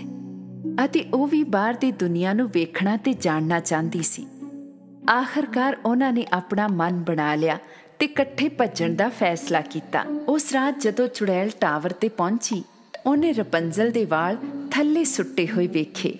ਰਪੰਜ਼ਲ ਨੇ ਮੈਨੂੰ ਆਂਦੇ ਹੋਏ ਵੇਖ ਲਿਆ ਸ਼ਾਇਦ ਇਸੇ ਕਰਕੇ ਵਾਲ ਥੱਲੇ ਸੁੱਟੇ ਨੇ। ਟਾਵਰ ਚੜਨ ਤੋਂ ਬਾਅਦ ਉਹਨੇ ਵੇਖਿਆ ਕਿ ਰਪੰਜ਼ਲ ਦੇ ਵਾਲ ਕੱਟ ਕੇ ਬਾਰੀ ਦੇ ਨਾਲ ਬੰਨੇ ਹੋਏ ਸੀ ਤੇ ਰਪੰਜ਼ਲ ਕਿਧਰੇ ਵੀ ਨਹੀਂ ਸੀ। ਉਸੇ ਪਲ ਉਹਨੂੰ ਅਹਿਸਾਸ ਹੋਇਆ ਕਿ ਰਪੰਜ਼ਲ ਭੱਜ ਗਈ ਹੈ। ਰਪੰਜ਼ਲ ਨੇ ਆਪਣੇ ਵਾਲ ਕੱਟ ਕੇ ਬਾਰੀ ਨਾਲ ਬੰਨ ਦਿੱਤੇ ਸੀ ਤੇ ਉਸੇ ਦੇ ਸਹਾਰੇ ਉਹ ਤੇ ਰਾਜਕੁਮਾਰ ਟਾਵਰ ਤੋਂ ਥੱਲੇ ਉਤਰੇ ਸੀ। ਰਪੰਜ਼ਲ! ਰਪੰਜ਼ਲ! ਤੂੰ ਮੈਨੂੰ ਧੋਖਾ ਦੇਣ ਦੀ ਹਿੰਮਤ ਕਿਵੇਂ ਕੀਤੀ ਇਸੇ ਦਰਮਿਆਨ ਰਪੰਜ਼ਲ ਤੇ ਰਾਜਕੁਮਾਰ ਉਸ ਜਾਦੂਈ ਜੰਗਲ ਤੋਂ ਬਾਹਰ ਆਏ। ਜੰਗਲ ਜਾਦੂਈ ਹੋਣ ਦੀ ਕਹਾਣੀ ਚੁੜੈਲ ਦੀ ਬਣਾਈ ਹੋਈ ਸੀ। ਉਹ ਨਹੀਂ ਚਾਹੁੰਦੀ ਸੀ ਕਿ ਕੋਈ ਉੱਥੇ ਆ ਕੇ ਰਪੰਜ਼ਲ ਨੂੰ ਵੇਖੇ। ਰਪੰਜ਼ਲ ਤੇ ਰਾਜਕੁਮਾਰ ਆਖਰਕਾਰ ਮਹਿਲ ਵਿੱਚ ਪਹੁੰਚੇ। ਰਪੰਜ਼ਲ ਦੇ ਨਾਲ ਰਾਜਕੁਮਾਰ ਰਾਜਾ ਤੇ ਰਾਣੀ ਦੇ ਸਾਹਮਣੇ ਗਿਆ ਤੇ ਵੇਖਿਆ ਕਿ ਰਾਜਾ ਇੱਕਦਮ ਸਿਹਤਮੰਦ ਉਹਦੇ ਸਾਹਮਣੇ ਖੜੇ ਸੀ। ਪਿਤਾ ਜੀ ਤੁਸੀਂ ਬਿਲਕੁਲ ਤੰਦਰੁਸਤ ਹੋ ਗਏ ਹੋ। ਇਹ ਕਿਵੇਂ ਹੋਇਆ? ਇੱਕ ਜੜੀ ਬੂਟੀ ਨੇ ਤੇਰੇ ਪਿਤਾ ਜੀ ਨੂੰ ਸਿਹਤਮੰਦ ਕੀਤਾ ਮੇਰੇ ਪੁੱਤਰ। ਕੀ ਕਹਿੰਦੇ ਨੇ ਉਸ ਨੂੰ ਆ ਰਪੰਜ਼ਲ? ਰਪੰਜ਼ਲ? ਰਾਜਕੁਮਾਰ ਨੇ ਉਹਨਾਂ ਨੂੰ ਸਭ ਦੱਸਿਆ ਜੋ ਵੀ ਉਹਦੇ ਨਾਲ ਹੋਇਆ ਸੀ। ਰਾਜਾ ਨੇ ਦੱਸਿਆ ਕਿ ਇੱਕ ਬੁੱਢੇ ਜਨਾਨੀ ਆਦਮੀ ਨੇ ਉਹਨਾਂ ਨੂੰ ਉਹ ਜੜੀ ਬੂਟੀ ਦਿੱਤੀ ਸੀ ਤੇ ਉਹਨਾਂ ਨੂੰ ਬੁਰੀ ਚੁੜੈਲ ਦੀ ਕਹਾਣੀ ਵੀ ਸੁਣਾਈ। ਕਿ ਕਿਵੇਂ ਉਹ ਉਹਨਾਂ ਦੀ ਬੇਟੀ ਨੂੰ ਪੈਦਾ ਹੁੰਦੇ ਹੀ ਲੈ ਗਈ ਸੀ। ਰਾਜਕੁਮਾਰ ਤੇ ਰਪੰਜ਼ਲ ਉਸ ਬੁੱਢੇ ਜਨਾਨੀ ਆਦਮੀ ਦੇ ਘਰ ਗਏ। ਜਿਵੇਂ ਹੀ ਉਸ ਜਨਾਨੀ ਨੇ ਸੁਨਹਿਰੇ ਵਾਲਾਂ ਵਾਲੀ ਕੁੜੀ ਨੂੰ ਵੇਖਿਆ, ਉਹਨੇ ਪਛਾਣ ਲਿਆ ਕਿ ਉਹ ਉਹਨਾਂ ਦੀ ਹੀ ਧੀ ਰਪੰਜ਼ਲ ਹੈ, ਜਿਸ ਨੂੰ ਚੁੜੈਲ ਉਹਨਾਂ ਦੇ ਕੋਲੋਂ ਖੋ ਕੇ ਲੈ ਗਈ ਸੀ। ਮੇਰੀ ਧੀ ਮੇਰੀ ਬੱਚੀ, ਆਖਰ ਤੂੰ ਮੈਨੂੰ ਮਿਲ ਹੀ ਗਈ।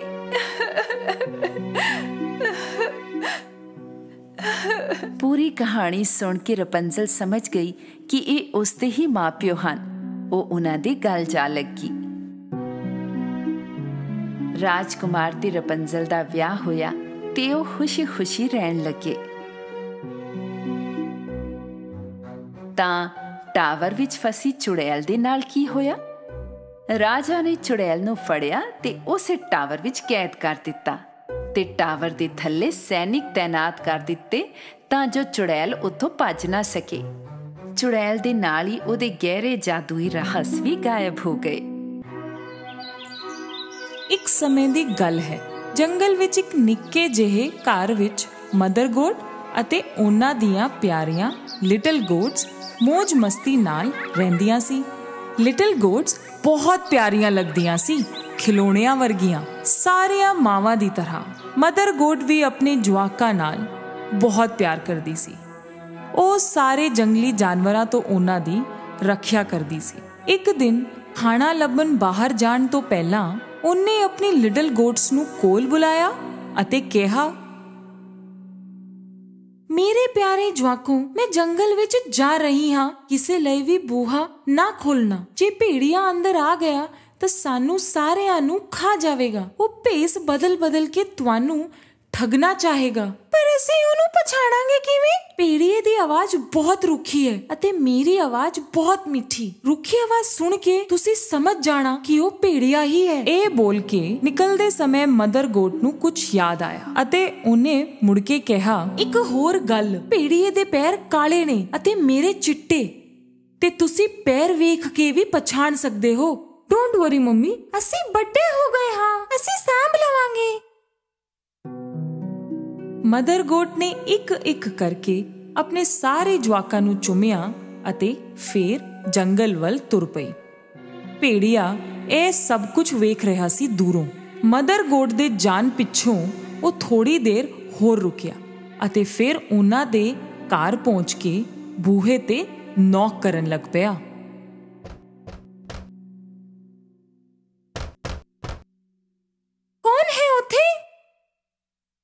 ਮੇਰੇ ਪਿਆਰੇ ਬੱਚੋ ਚਲੋ ਦਰਵਾਜ਼ਾ ਖੋਲੋ।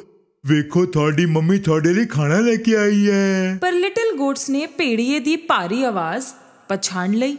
ਬੂਹੇ ਦੇ ਦੂਜੇ ਪਾਸਿਓਂ ਉਹ ਸਭ ਚਿল্ਲਾਏ ਤੁਸੀਂ ਸਾਡੀ ਮੰਮੀ ਨਹੀਂ ਹੋ। ਉਹਨਾਂ ਦੀ ਆਵਾਜ਼ ਬਹੁਤ ਪਿਆਰੀ ਅਤੇ ਮਿੱਠੀ ਹੈ। ਤੂੰ ਸਾਨੂੰ ਬੁੱਧੂ ਨਹੀਂ ਬਣਾ ਸਕਦਾ ਭੇੜੀਏ। ਭੇੜੀਏ ਨੂੰ ਬਹੁਤ ਗੁੱਸਾ ਆਇਆ ਕਿਉਂਕਿ ਉਹ ਲਿਟਲ ਗੋਟਸ ਨੂੰ ਠੱਗ ਨਹੀਂ ਸਕਿਆ। ਤੇ ਉਹਨੇ ਇੱਕ ਚੌਕ ਦਾ ਪੀਸ ਖਾ ਲਿੱਤਾ। ਹੁਣ ਉਹਦੀ ਆਵਾਜ਼ ਪੂਰਾ ਮਿੱਠੀ ਹੋ ਗਈ ਤੇ ਉਹ ਫੇਰ ਉਹਨਾਂ ਦੇ ਘਰ ਗਿਆ ਅਤੇ ਨੌਕ ਕੀਤਾ। ਇਸ ਬਾਰੀ ਭੇੜੀਏ ਨੇ ਆਪਣੀ ਮਿੱਠੀ ਆਵਾਜ਼ ਵਿੱਚ ਗੱਲ ਕੀਤੀ। ਮੇਰੇ ਪਿਆਰੇ ਬੱਚੋ, ਦਰਵਾਜ਼ਾ ਖੋਲੋ। ਮੈਂ ਤੁਹਾਡੀ ਮੰਮੀ ਆ। ਮੈਂ ਸਾਰਿਆਂ ਦੇ ਲਈ ਖਾਣਾ ਲੈ ਕੇ ਆਈ ਆ। ਇਸ ਬਾਰੇ ਮਿੱਠੀ ਆਵਾਜ਼ ਸੁਣ ਕੇ ਲਿਟਲ ਗੋਟਸ ਨੂੰ ਲੱਗਿਆ ਕਿ ਇਹ ਉਹਨਾਂ ਦੀ ਮੰਮੀ ਹੀ ਹੈ। ਬੂਹਾ ਖੋਲਣ ਹੀ ਵਾਲੇ ਸੀ ਕਿ ਉਹਨਾਂ ਵਿੱਚੋਂ ਇੱਕ ਚਿੱਲਾਇਆ, ਰੁਕੋ ਰੁਕੋ, ਪਹਿਲਾਂ ਬੂਹੇ ਥੱਲੋਂ ਪੈਰ ਵੇਖਦੇ ਹਾਂ। ਜਦੋਂ ਉਹਨਾਂ ਨੇ ਵੇਖਿਆ ਤਾਂ ਭੇੜੀਏ ਦੇ ਕਾਲੇ ਪੈਰ ਦਿਸੇ ਅਤੇ ਉਹ ਸਾਰੇ ਚਿੱਲਾਣ ਲੱਗ ਪਏ। ਅਸੀਂ ਬੂਹਾ ਨਹੀਂ ਖੋਲਾਂਗੇ। ਮੰਮੀ ਦੇ ਪੈਰ ਕਾਲੇ ਨਹੀਂ ਨੇ। ਉਹਨਾਂ ਦੇ ਪੈਰ ਚਿੱਟੇ ਨੇ। ਤੁਸੀਂ ਭੇੜੀਆ ਹੋ। ਆਪਣਾ ਗੁੱਸਾ ਪੀ ਕੇ ਭੇੜੀਆ ਉੱਥੋਂ ਨਿਕਲਿਆ। ਹੁਣ ਉਹ ਬੇਕਰੀ ਗਿਆ। ਬੇਕਰ ਭੇੜੀਏ ਨੂੰ ਵੇਖ ਕੇ ਹੈਰਾਨ ਰਹਿ ਗਿਆ। ਮੈਂ ਹੁਣ ਸ਼ਾਕਾਹਾਰੀ ਹੋ ਗਿਆ ਹਾਂ। ਹੁਣ ਤੋਂ ਪੈਸਟਰੀ ਖਾਵਾਂਗਾ। ਥੋੜਾ ਆਟਾ ਦਿਓਗੇ? ਭੇੜੀਆ ਬੇਕਰੀ ਤੋਂ ਆਟਾ ਲੈ ਕੇ ਨਿਕਲਿਆ। ਘਰ ਦੇ ਨੇੜੇ ਆ ਕੇ ਆਟਾ ਉਹਨੇ ਆਪਣੇ ਪੈਰਾਂ ਤੇ ਮਲ ਲਿਆ ਹੁਣ ਉਹਦੇ ਪੈਰ ਚਿੱਟੇ ਹੋ ਗਏ। ਹੁਣ ਤੀਜੀ ਬਾਰੀ ਚਲਾਕ ਭੇੜੀਏ ਨੇ ਬੂਹੇ ਉੱਤੇ ਨੌਕ ਕੀਤਾ। ਮੇਰੇ ਪਿਆਰੇ ਬੱਚੋ ਦਰਵਾਜ਼ਾ ਖੋਲੋ। ਮੈਂ ਤੁਹਾਡੀ ਮੰਮੀ ਆ। ਮੈਂ ਸਾਰਿਆਂ ਦੇ ਲਈ ਖਾਣਾ ਲੈ ਕੇ ਆਈ ਆ। ਪਹਿਲਾਂ ਪੈਰ ਵਿਖਾਓ ਤਾਂ ਹੀ ਪਤਾ ਚੱਲੇ ਕਿ ਤੁਸੀਂ ਮੰਮੀ ਹੀ ਹੋ। ਪੇੜੀਏ ਨੇ ਉਹਨਾਂ ਨੂੰ ਆਟੇ ਨਾਲ ਚਿੱਟੇ ਕੀਤੇ ਹੋਏ ਪੈਰ ਵਿਖਾਏ। ਜਦੋਂ ਲਿਟਲ ਗੋਟਸ ਨੇ ਚਿੱਟੇ ਪੈਰ ਵੇਖੇ ਤਾਂ ਉਹਨਾਂ ਨੇ ਸਮਝਿਆ ਕਿ ਉਹਨਾਂ ਦੀ ਮਾਂ ਹੈ ਅਤੇ ਬੂਹਾ ਖੋਲ ਦਿੱਤਾ। ਫੇਰ ਕੀ? ਉਹਨਾਂ ਦੇ ਸਾਹਮਣੇ ਸੀ ਭੇੜੀਆ। ਲਿਟਲ ਗੋਟਸ ਡਰ ਗਏ ਸੀ ਅਤੇ ਕਪਰਾ ਕੇ ਚਿল্ਲਾਣ ਲੱਗੇ।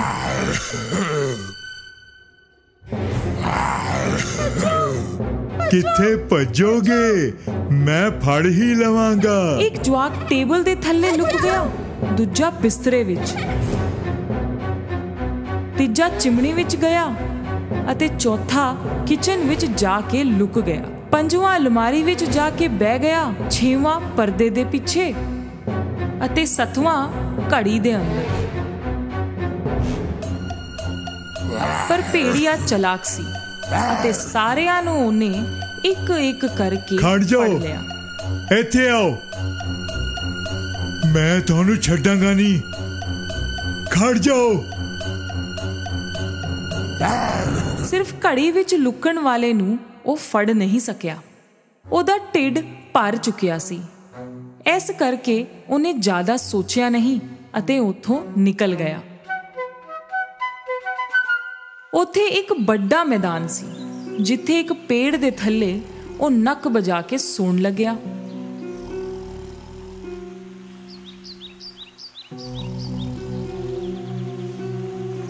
ਥੋੜੀ ਦੇਰ ਬਾਅਦ ਮਦਰ ਗੋਟ ਘਰ ਪਹੁੰਚੀ। ਬੂਹਾ ਖੁੱਲਾ ਵੇਖ ਕੇ ਸਮਝ ਗਈ ਕਿ ਕੁਝ ਹੋਇਆ ਹੈ ਅਤੇ ਉਹ ਚਿল্ਲਾਣ ਲੱਗੀ। ਮੇਰੇ ਜਵਾਕ!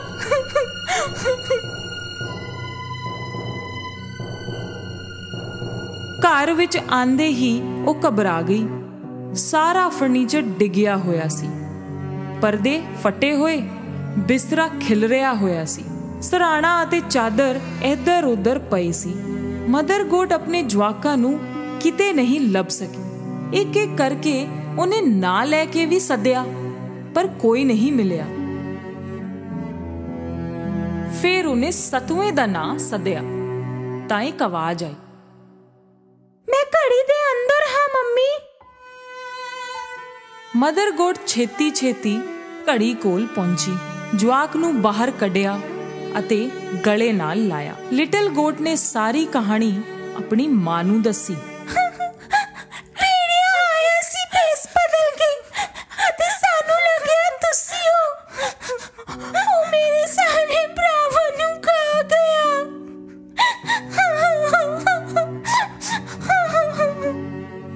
ਮਦਰ ਗੋਟ ਨੂੰ ਬਹੁਤ ਬੁਰਾ ਲੱਗਿਆ। ਉਹ ਬਹੁਤ ਰੋਈ ਆਪਣੇ ਜਵਾਕਾਂ ਵਾਸਤੇ। ਆਪਣੇ ਸਿਰਫ ਇੱਕ ਜਵਾਕ ਨਾਲ ਉਹ ਘਰ ਤੋਂ ਬਾਹਰ ਨਿਕਲੀ ਤਾਂ ਹੀ ਉਹਨਾਂ ਨੂੰ ਪੇੜਿਆ ਸੁੱਤਾ ਹੋਇਆ ਦਿਸਿਆ। ਉਹਦਾ ਨੱਕ ਇੰਨੀ ਤੇਜ਼ ਵੱਜ ਰਿਹਾ ਸੀ ਕਿ ਪੇੜ ਦੇ ਪੱਤੇ ਵੀ ਹਿਲ ਰਹੇ ਸੀ। ਮਦਰ ਗੋਟ ਭੇੜੀਏ ਨੂੰ ਥੋੜੀ ਦੇਰ ਵੇਖਦੀ ਰਹੀ। ਉਹਨੇ ਵੇਖਿਆ ਕਿ ਉਹਦੇ ਢਿੱਡ ਦੇ ਅੰਦਰ ਕੁਝ ਹਿਲ ਰਿਹਾ ਹੈ। ਹਾਏ ਰੱਬਾ! ਲੱਗਦਾ ਹੈ ਮੇਰੇ ਜਵਾਕ ਉਹਦੇ ਢਿੱਡ ਦੇ ਅੰਦਰ ਜਿੰਦੇ ਨੇ। ਉਹਨੇ ਇੱਕ ਪਲਾਨ ਸੋਚਿਆ ਅਤੇ ਆਪਣੇ ਜਵਾਕ ਨੂੰ ਕਿਹਾ ਕਰੋ ਮੇਰੇ ਲਈ ਇੱਕ ਸੂਈ ਧਾਗਾ ਅਤੇ ਕੈਚੀ ਲੈ ਕੇ ਆ ਛੇਤੀ। ਲਿਟਲ ਗੋਟ ਕਾਰ ਜਾਣ ਲੱਗਿਆ। ਤਾਂ ਮਦਰ ਗੋਟ ਨੇ 6 ਵੱਡੇ ਪੱਥਰ ਇਕੱਠੇ ਕੀਤੇ। ਥੋੜੀ ਦੇਰ ਵਿੱਚ ਲਿਟਲ ਗੋਟ ਸੂਈ ਧਾਗਾ ਅਤੇ ਕੈਂਚੀ ਲੈ ਕੇ ਪਹੁੰਚਿਆ। ਜਿਵੇਂ ਮਦਰ ਗੋਟ ਨੇ ਭੇੜੀਏ ਦਾ ਢਿੱਡ ਕਟਿਆ, ਉਹਨੂੰ ਉੱਤੇ ਹੀ ਆਪਣਾ ਇੱਕ ਜਵਾਕ ਦਿਸਿਆ ਅਤੇ ਬਾਕੀ ਵੀ ਇੱਕ ਤੋਂ ਬਾਅਦ ਇੱਕ ਦਿਸੇ। ਸਾਰੇ ਸਲਾਮਤ ਸੀ।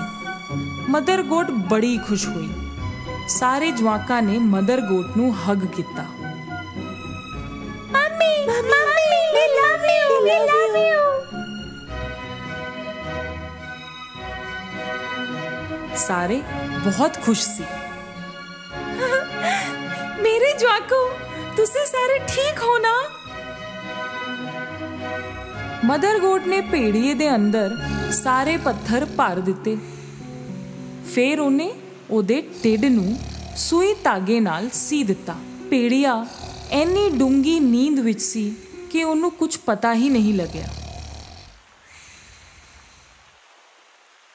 ਭੇੜੀਆ ਜਦੋਂ ਜਾਗਿਆ, ਖੜਾ ਹੋਇਆ, ਉਹਦਾ ਢਿੱਡ ਦਰਦ ਕਰ ਰਿਹਾ ਸੀ। ਉਹਨੂੰ ਲੱਗਿਆ, ਕਈ ਸਾਰੇ ਲਿਟਲ ਗੋਟਸ ਦੀ ਵਜ੍ਹਾ ਨਾਲ ਦਰਦ ਹੋ ਰਿਹਾ ਹੈ। ਉਹਨੂੰ ਬਹੁਤ ਪਿਆਸ ਲੱਗੀ। ਉਹ ਨਦੀ ਵੱਲ ਗਿਆ ਪਾਣੀ ਪੀਣ। ਤੁਰਦੇ ਵੇਲੇ ਢਿੱਡ ਵਿੱਚ ਪੱਥਰ ਇੱਕ ਦੂਜੇ ਨਾਲ ਟਕਰਾਣ ਲੱਗੇ। ਢਿੱਡ ਇੰਨਾ ਭਾਰੀ ਤੇ ਭਰਿਆ ਹੋਇਆ ਲੱਗ ਰਿਹਾ ਹੈ ਜਿਵੇਂ ਮੈਂ ਪੱਥਰ ਹੀ ਖਾਦੇ ਹੋਣ। ਉਹ ਪਾਣੀ ਪੀਣ ਵਾਸਤੇ ਝੁਕਿਆ ਪੱਥਰਾਂ ਦੇ ਬੋਝ ਕਰਕੇ ਉਹ ਨਦੀ ਵਿੱਚ ਡਿੱਗ ਪਿਆ। ਬਚਾਓ ਬਚਾਓ ਮੈਂ ਡੁੱਬ ਰਿਹਾ। ਕੋਈ ਮੈਨੂੰ ਬਚਾਓ ਬਚਾਓ ਮੈਂ ਡੁੱਬ ਰਿਹਾ।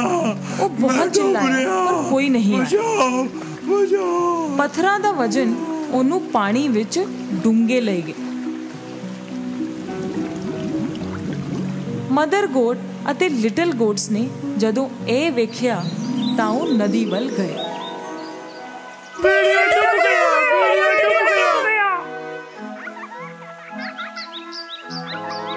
ਸਾਰੇ ਮਿਲ ਕੇ ਚੁੰਮਣ ਲੱਗੇ। ਉਸ ਦਿਨ ਤੋਂ ਬਾਅਦ ਮਦਰ ਗੋਡ ਤੇ ਉਹਨਾਂ ਦੇ ਸੱਤੋਂ ਜਵਾਕ ਘਰ ਵਿੱਚ ਮौज ਮਸਤੀ ਨਾਲ ਰਹੇ।